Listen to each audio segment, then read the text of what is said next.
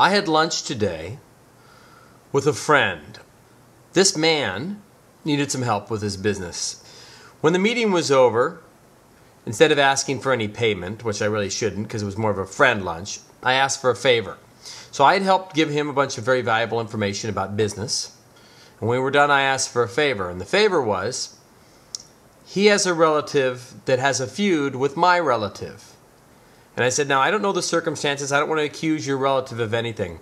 But here's what I'd like to ask you I'd like to ask you if you could ask your relative, who has a feud with my relative, if either they could get a hold of my relative and explain to them how there was a misunderstanding, or if in fact your relative had actually done what my relative thought your relative did, they could apologize.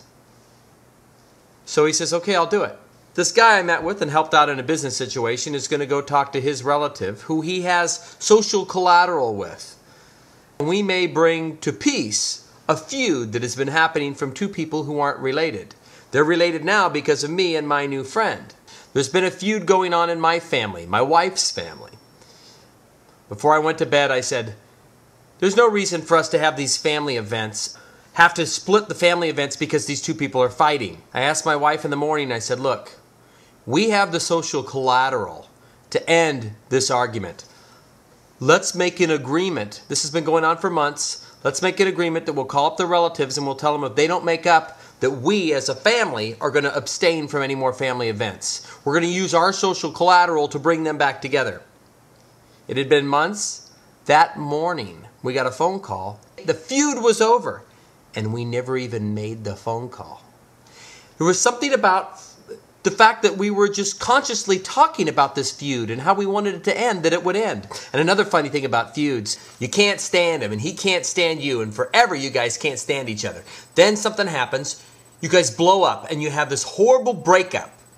Then you reconnect, and for the first time in your life, this guy who you never liked are now decent or pretty good friends because of the breakup. Sometimes the evolution of a friendship has a breakup in it. Sometimes you never really get intimate to a really intimate level until you've had that breakup. So some of these people who didn't like each other, who then have horrible breakups, they may be in the process of an evolution of a fantastic loving relationship, and sometimes they need a little facilitating on our parts to bring them together.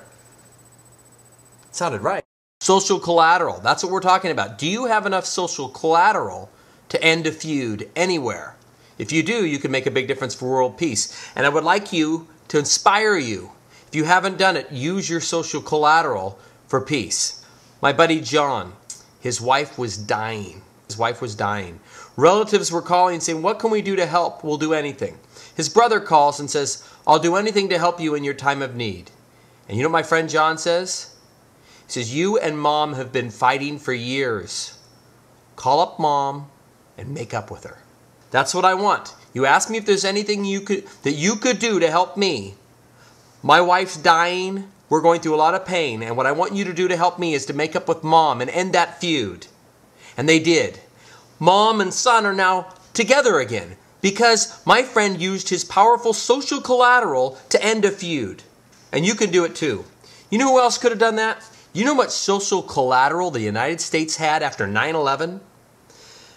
The outpouring of affection and love, we could have done so much with that. I believe that the United States has squandered and perverted that social collateral into a debt, a debt to society when it could have been a fantastic credit.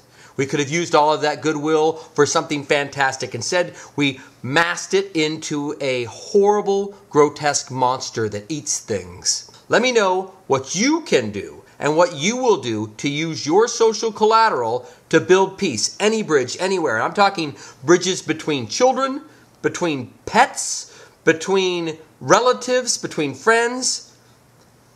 Let's do it. Let's make peace together. Let's use our collateral for peace.